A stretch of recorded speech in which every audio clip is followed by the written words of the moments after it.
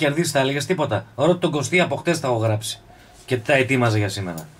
Ξερόλα Μαϊντανέ Φαλακρέ, εσύ είσαι στο γήπεδο. Αλέφαντε. Εγώ όχι, ρωτάω τι έγινε γι' αυτό. Ευχαριστώ για σήμερα, ραπ με έχεις καλύψει 1000% και ειδικά για το θέμα Πέλκα. Το λέω εδώ και καιρό και οι συνοπαδοί μου καυγίζουν. Εγώ και οι διπλανοί μου Γιούχα κάναμε στην ομάδα. Μήνυμα στον Ιβάν Να 2355. τα σκουλιάνε. Η απόφαση έχει ληφθεί, όλα τα κέντρα έχουν ενεργοποιηθεί. Ο προπονητής θα φαγωθεί. Είναι η λιμένη απόφαση. Καθίστε αναπαυτικά ξαναδείτε το έργο Λευτεριά στον Μπάοκ.